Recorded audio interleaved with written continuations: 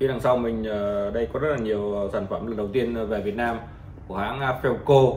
Thì Felco là công ty của Thụy Sĩ chuyên sản xuất kéo cắt cành, tỉa cành và cưa. Về kéo cắt cành, tỉa cành thì nó cũng đơn giản, nó chỉ dùng để cắt tỉa bình thường thôi. Nhưng mà đối với Felco thì nó có chia ra rất là nhiều loại, nó khoảng cỡ chừng hơn hai chục model, hơn hai chục mã hàng khác nhau. Thì mỗi một cái kéo nó sẽ có một cái tính năng khác nhau và mình đang trong cái giai đoạn mình review một cách chi tiết từng cái một. Sau khi review chi tiết từng cái một thì mình sẽ nhập về với một cái số lượng nó nhiều hơn hiện tại. Thì giá thành nó sẽ khác. Như như các bạn ra ngoài chợ, các bạn mua đồ kéo tỉa cảnh chắc 100 ngàn 200 ngàn là thậm chí ai xài đồ xịn lắm mà đến một, hai triệu là hết. Nhưng Felco có những cái kéo, cơ tỉa cảnh có thể lên tới hơn 2 triệu. Và những có những model, có những mặt hàng cũng nằm ở trong tầm giá dưới một triệu cũng có. Thì có rất là nhiều ở trên ờ, kệ mình đang có ở đây. Lần đầu tiên về Việt Nam ờ, theo đúng ờ, hàng chính cạch à, thì mình bên Minh Khang là đại diện phân phối của hãng Felco tại thị trường Việt Nam.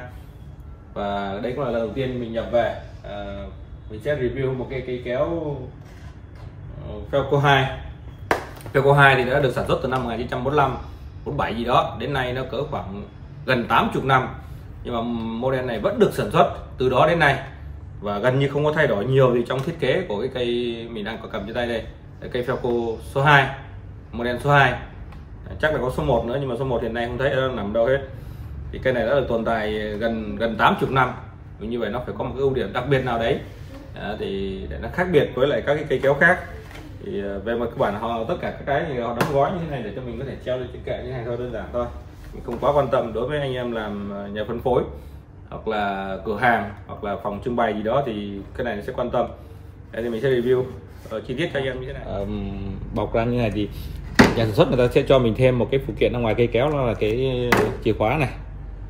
Đó, chìa khóa để cho mình ờ, mở các cái chi tiết ở trên mở chi tiết ở trên cái kéo trong trường hợp mà mình thay phụ tùng. Nó bao gồm hai lỗ lục giác và bạn có thể là dùng nó như một cái tô vít nó sẽ vừa với lại cái cái ốc ở đây. À.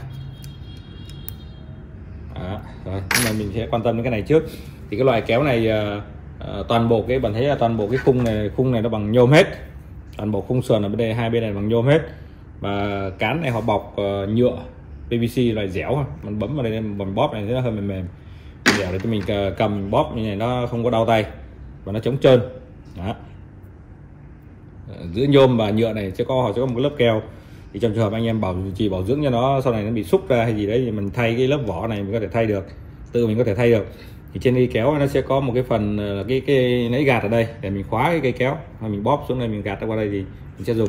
Đó đây độ mở ra mở cái kéo ra ha. Mình bóp này mình gạt đây nó mình khóa nó lại. Đó như vậy. À, thì toàn bộ nhôm này là nhôm đúc hết thì có phần lưỡi là họ sẽ làm riêng phần lưới đây ha. Các bạn thấy là lưới ở đây đây nó có một cái miếng ờ, thép gắn vào đính vào mấy miếng nhôm này. Tương tự như bên đây cũng vậy. Mình sẽ có một cái lưới bên trái và một cái lưới bên phải. Hai lưới ép vào nhau như thế này. Thì chính giữa ở đây nó sẽ đó, họ sẽ họ sẽ gắn với nhau với cái lá này bằng một cái đi, chốt đi về ở đây. Thấy cái vết của cái chốt đi về nó vẫn còn này. Cái đi về vẫn còn đây ha. Chỗ này chỗ này chỗ này đó, chốt bằng 3 điểm như thế này. Cái lưỡi phần lưỡi này. Thì trong trường hợp mà sau này mình xài mà một tình huống ABCZ nào đấy mà mình chỉ cần phải thay cái lưỡi này chẳng hạn thế thì mình sẽ tháo hai con ốc ba nóc vào đây ra. Rồi mình sẽ thay cái lưỡi này thì nó cũng mình sẽ có một cái video chi tiết cho anh em về cái cách hướng dẫn thế nào đó để thay được cái này. Đó. thì cái phần này là cái phần bằng à, bằng nó có đàn hồi được. Đó. khi mà mình bóp xuống đây thì mình bóp hết cỡ thì nó sẽ đè xuống dưới cái hai cái này nó đè vào nhau. Thì nó không đi được nó không không không cứng. Đó còn đây là cái lò xo. Thì lò xo này là dạng lò xo dạng cuộn giống như là cái dây thiều dây dây cót của cái đồng hồ nhưng mà khi mà nói về à, thụy sĩ thường hay nói về đồng hồ và ngân hàng thì, thì đặc trưng của đồng hồ chính là cái dây thiều dây, dây cót ngoài bắc là dây cót trong miền nam gọi là dây thiều thì đây là cái, kết cấu của nó như vậy. Họ được à, mạ à, niken. Nó sáng bóng. Mà niken nó cũng để là chống ờ, dầu mỡ chống ờ, hóa chất trong phân bón phân đạm muối mặn rồi đó nó không bị gì xét. Thì cái này các bạn cũng có thể thay được. Các bạn có thể bỏ nó tháo nó ra như vậy được. Tháo ra giống như lò xo như thế này ha à, lò xo này có một bút là hồi để cho giữ cho cái miệng này nó luôn, luôn há ra. À, thì trong trường hợp uh, thông thường thì cái này rất là khó mất. Nhưng mà nếu trong trường hợp anh em mất anh em mất anh em mình vẫn có thể thay được. À, mình bóp. Như vậy. Cái lực ờ, đàn hồi của cái này đàn hồi của lò xo này không có quá lớn. Bởi vì nếu mà lớn thì khi bạn bóp xuống này nó có xu thế luôn chống lại cái tay bạn bóp thì nếu bạn cắt nhiều nó sẽ mỏi tay. Cái này rất là nhẹ. Cắt rất là nhẹ lò xo rất là nhẹ so với lại lò xo dạng thanh. Bạn ha lò xo dạng thanh lò xo dạng như thế này. Thành cái lớn như thế này, này thì nó rất là khỏe. À, bạn thấy nó rất là khỏe. À, thấy bật rất là khỏe. À, thì cái này nó là nó nhẹ thôi. À, à, rất là nhẹ thôi trên một cái cây kéo này ngoài cái việc cắt tỉa cành ra thì nó có thêm một cái bạn thấy cái lưỡi nó có một cái vết lõm này này xe vào sẽ thấy ở đây ngay chỗ này này Đó. cái chỗ này dùng để cho bạn cắt dây cáp Đó. cáp thì đối với dây cáp thì bao giờ cũng thế nó phải có cái đường kính của nó thì thì bạn thấy nó có cái lõm mà ở đây để bạn, bạn cắt cái dây cáp trong quá trình bạn làm vườn dây để chằng nhựa rồi đó là cắt ha thì cái về đúng vị trí này thôi và nó chỉ cắt được với đường kính phù hợp này thôi nha mà cắt đường kính lớn hơn thì sẽ không được. Thì cái chỗ này mục đích của chỗ này là để vậy. Ok?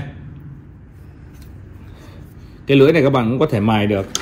Mài được thì bên bên hãng uh, Felco họ cũng có bán luôn cả cái đá chuyên dụng để cho bạn mài cái lưới này. Nhưng mà mình muốn chia sẻ bạn chút xíu nữa về đặc điểm của cái lưới này. Cái lưới thì bạn thấy ở đây nó có phần đen và phần trắng này này. Thì cái cái, cái phần mà ta cắt phần hình cắt hiệu dụng á nó chỉ là cái phần trắng này thôi.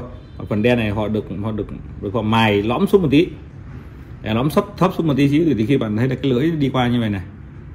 À, lưỡi đi qua ha. Rõ có nhìn rõ à, cái lưỡi đi qua như thế này á thì toàn bộ cái diện tích tiếp xúc nó chỉ rất rất nhỏ này thôi. Tiếp xúc để để cắt á, nó nhỏ như vậy thôi. Thì bạn cắt nó sẽ rất là nhẹ. Bởi vì nếu như nếu như toàn bộ diện tích bạn tưởng tượng toàn bộ diện tích này mà nó cũng tiếp xúc với lại cái lưỡi bên trên này này lưỡi trắng này này. À, thì trong trường hợp bạn cắt các cái cây tươi ấy một cây mà nó có nhựa Ờ, hoặc là ờ, cái thân của nó mà chảy nhựa thì một thời gian sau cái bạn thấy này nó cứ đắp đắp đắp các cái nhựa ở đây này. Nếu như nó không được ờ, làm lõm xuống một tí ha thì khi bạn cắt về lực cái lực ma sát của nó rất là lớn. Lực ma sát của nó rất là lớn nhưng gần như ta chi phí cho cái việc sử dụng lực đó nó vào việc vô ích.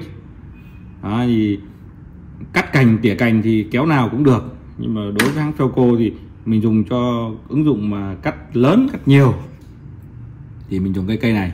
Hoặc là anh em ờ, sử dụng cho bonsai ờ, cây cảnh gì đấy cây, cây chăm sóc ờ, vườn đào vườn điều gì đấy tết hàng, hàng trăm hàng ngàn cành nhá. Thì nó mới có phát huy hiệu quả chứ còn đối với cá nhân dùng từng người người dùng có một nhà một hai cây thì nó sẽ không phù hợp. À, thì có một chút xíu nữa liên quan đến cái cán này thì mình sẽ chia sẻ một tí xíu nữa là bạn thấy nó rất đặc biệt ở chỗ là bạn thấy là cái cán này chỗ này này nó hơi nghiêng qua đây một tí xíu nó hơi bẻ qua đây tí xíu này. Chứ nó không có để vuông xuống đây nó không bẻ vuông xuống đây. À đó. nó không phải bẻ vuông nó không phải nó không phải nó bị gãy bị sai gì đâu. Thì bạn thấy là, là khi bạn bóp xuống đây á thì nó nghiêng sang như này thì cái diện tích tiếp xúc vào tay lúc đó là nhiều nhất. À, đó bạn há ra thì bạn thấy tiếp xúc tiếp xúc cái nó nghiêng như này nó mới áp sát vây được vì cái thế của cái bàn tay nó như vậy. À, thì này người ta làm nó cũng có mục đích như vậy. Bạn thấy dường như là sẽ khác rất nhiều đối với các hãng khác chính là nằm ở cái chỗ này. Và đó cũng là, có lẽ là lý do mà ờ, cái cây Felco 2 này nó tồn tại suốt một quá trình dài. Đó.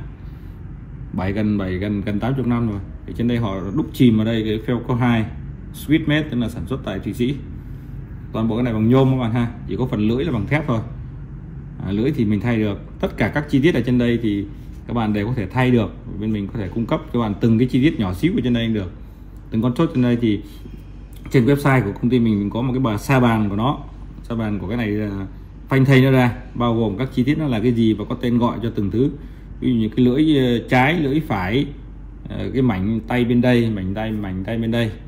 Rồi miếng nhựa đỏ đây miếng đỏ cho cái cán bên dưới bên trên. Hai cái hai cái nó khác nhau. Cái cán này trên đây là phần này là phần trơn này phần này cũng trơn luôn này. Phần này nó sẽ có gồ ghề theo cái ngón tay này này. Đấy, nó gồ ghề này.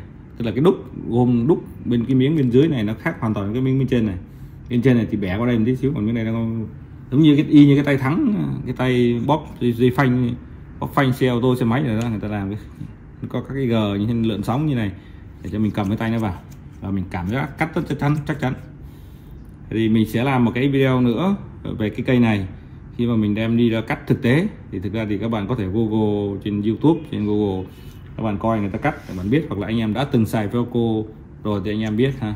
Cắt thì chắc là đứt cành thôi vấn đề là chất lượng như thế nào thôi. Thì giá thành của cái cây này hiện nay là khoảng một triệu rưỡi.